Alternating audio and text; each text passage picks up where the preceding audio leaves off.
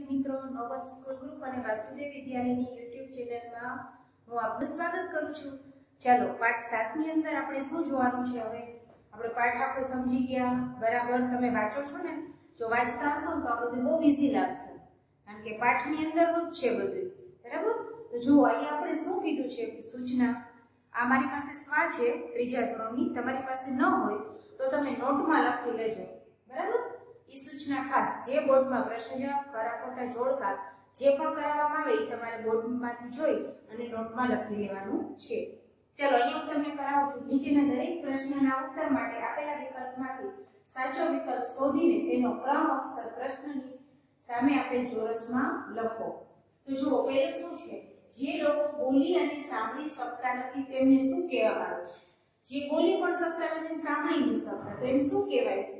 તો જુઓ એને આપણે આપ્યા છે વિકલ્પ, પહેલું પ્રજ્ઞાચક્ષુ, બીજું વિકલાંગ ત્રીજું ક મુકબધિર અને ડ મનોરોગી તો શું કહેવાશે?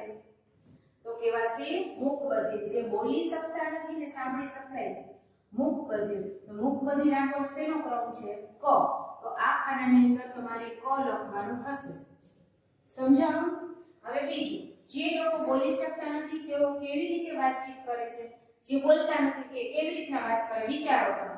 અ બીજાની મદદથી, બ ઈશારાથી ક લખીને, ડ મશીનથી. તો જે બોલી શકતા નથી વ્યક્તિ કેવી રીતના વાત કરે તો કે છે ઈશારાથી તો બીજી કોષ્ટકમાં શું આવશે ખાનામાં? બ. ઈશારાનો જવાબ આગળ, આગળનો ક્રમ બ છે એટલે બ કરવાનો. પછી ત્રીજું, શરીરના કયા ભાગને જોઈને વ્યક્તિ પ્રસન્ન છે કે ઉદાસ છે તે જાણી શકાય. શરીરનો પૂછ્યો છે. જો શરીર હોય એના કયા ભાગને જોઈ અને વ્યક્તિ પ્રસન્ન છે કે ઉદાસ છે તે જાણી શકાય, બરાબર? તો પહેલું ચહેરો, બીજું સોરી અ ચહેરો, બ હાથ, ક પગ અને ડ ધડ. તો કોને જોઈ કહી શકાય આપણે? તો કે છે, અ, ચહેરો. તો અહીંયા ખાનામાં શું કરીશું? અ. પછી ચોથું, ખિસકોલીની પાર્ટીમાં કયા બે પંખી આવ્યા હતા? ખિસકોલીએ ખીરને પૂરી જમવા બોલાવ્યા હતા તેના મિત્રોને. કોણ આવ્યું હતું પાર્ટીમાં જોવો જોઈએ કબૂતર ને પોપટ હતું? ના. ચકલી ને ઓલો હતું? ના. ક. કાબર ને કાગડો હતું? હા, એવું હતું હો. બતક અને સમડી હતું? ના. તો આ હતું ને કાબર ને કાગડો. તો આપણે ચોથા પ્રશ્નના જવાબની અંદર શું વિકલ્પ સાચો લાગ્યો? ક. તો આ ખાનામાં કરવાનું ક. બરાબર? આવી રીતે તમને વિકલ્પ શોધી લખતા આવડવા જોઈએ. બરાબર? પછી આવી છે ખાલી જગ્યા પૂરો. વ્યક્તિ બીજા વ્યક્તિની વાતો તેના હલનચલન પરથી જાણી શકે છે. સેના હલનચલન પરથી જાણી શકે?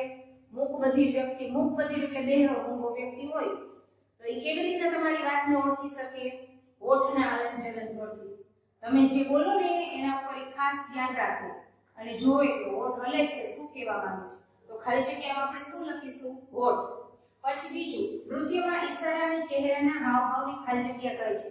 જે નૃત્ય, મેં તમને કીધું કે ટીવીમાં જો નૃત્ય એવું આવે ને એટલે તરત તમે ટીવી બંધ કરી દો, કારણ કે તમને એવું જોવું ગમતું નથી. પણ એ જોવું જરૂરી છે. નૃત્યને જોવો તમે, તો ઈશારા અને ભાવ, ચહેરાના હાવભાવ ને શું કહેવામાં આવે છે? તો કહેવામાં આવે છે મુદ્રા. મુદ્રાઓ. જો હાથના હાવભાવ આપણે પાઠમાં બતાવ્યું છે, આમ કરી બતાવ્યું છે, હાથના ઈશારા બતાવ્યા છે એવી રીતના. બરાબર? હવે ત્રીજું, ખિસકોલી બહેનની પાર્ટીમાં જગ્યા નામનું ચાર પગ વાળું પ્રાણી હતું. ખિસકોલીએ પાર્ટી આપી તો એક તો નક્કી થઈ ગયું, કાબર ને કાબર હતું. બીજું કોણ હતું? ચાર પગ વાળું હતું વિચારો જી કોણ હતું? ઉંદર. તો ખાલી જગ્યામાં શું લખી નાખશું? ઉંદર. બાળકે કોઈ પરાક્રમ કે શરારત કરી હોય, તો તેના જગ્યા પરથી જાણી શકાય. જો બાળકે કઈ પરાક્રમ કર્યું હોય તોફાન કર્યા હોય. તો મમ્મી કેવી રીતના ખબર પડી જાય? મેં તમને પાઠમાં કીધું ને? તો કેવી રીતના ખબર પડી જાય? ચહેરા પરથી. એનો ચહેરો જોઈ મમ્મી ખબર પડી જાય કે આજે ભાઈએ કંઈક પરાક્રમ કર્યા છે. પછી પાછું. ચહેરાના ખાલી ભાગમાં વ્યક્તિનો ગુસ્સો કે ખુશી જલ્દીથી જોઈ શકે. શરીરના કયા ભાગને જોઈને ખબર પડે કે ઉદાસ છે તો ચહેરો. હવે ચહેરાનો કયો ભાગ જોવે તો ખબર પડે કે ગુસ્સો છે કે તો શું આવશે? આંખ. આંખ છે ને, એનાથી આપણને ખબર પડી જાય કે ગુસ્સામાં છે આંખ. કે ખુશ છે. બરાબર? મુખ બધિર વ્યક્તિઓને તેમની સ્પેશિયલ શાળામાં ખાલી જગ્યાથી વાતચીત કરવાની ભાષા શીખવવામાં આવે છે.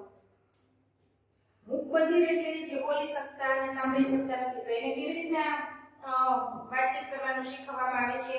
તો જો કેવી રીતનું શીખવાનું એ ઈશારાઓમાં તો આવી રીતે અહીંયા અબપડવન સાચો વિકલ્પ જેને કહી શકાય, એ પણ જોઈ લીધું કેવી રીતના કરાય. અને ખાલી જગ્યા પણ જોઈએ. હવે નેક્સ્ટ લેક્ચરની અંદર આપણે જોડકા અને પ્રશ્ન જવાબ કરીશું. અસ્તુ